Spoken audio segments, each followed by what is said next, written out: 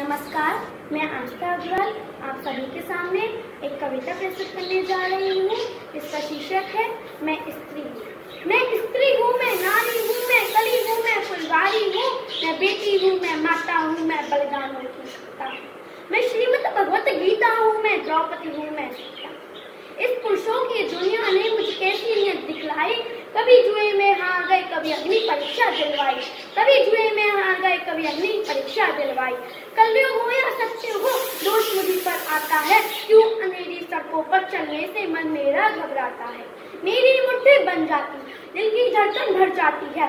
हर तरफ़ पसीना माथे पर, दिल में मेरी घबराहट है। जाने कैसा साया है, जाने कैसी आहट है, जाने कैसा साया है, जाने कैसी आहट है।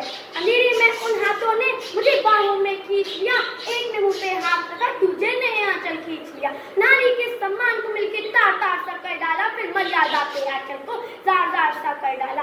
नारी के सम्मान को मिलके जार जार सा कर मर्यादा के आंचल को जार जार सा कर डाला। मारा है मुझको पीटा है, बालों से मुझे घसीटा है।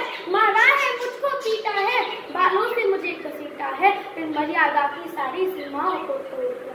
उन अंधेरी सड़कों पर मुझे तड़पता उन अंधेरी सड़कों पर मुझे तड़पता सन्नाटों में चीख रही थी खून से लटपट हो गई कोई मदद करो कोई मदद करो कोई मदद करो चीख चीख कर चीख मुझसे जब होश में आई तो परिवार वालों की बातें सुनकर क्या मेकअप था? क्या गहने थे? क्या छोटे कपड़े पहने थे?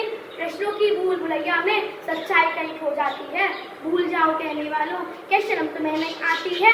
भूल जाओ कहने वालों, क्या शर्म तुम्हें नहीं आती है? ये आपकी गलती आपकी भी हो सकती है। कल सड़क पर बेइज्जत बेटी आपकी भी हो सकती है। ये आपकी गलती आपकी भी हो सकती है। कल बहन या बेइज्जत बेटी आपकी भी हो सकती है।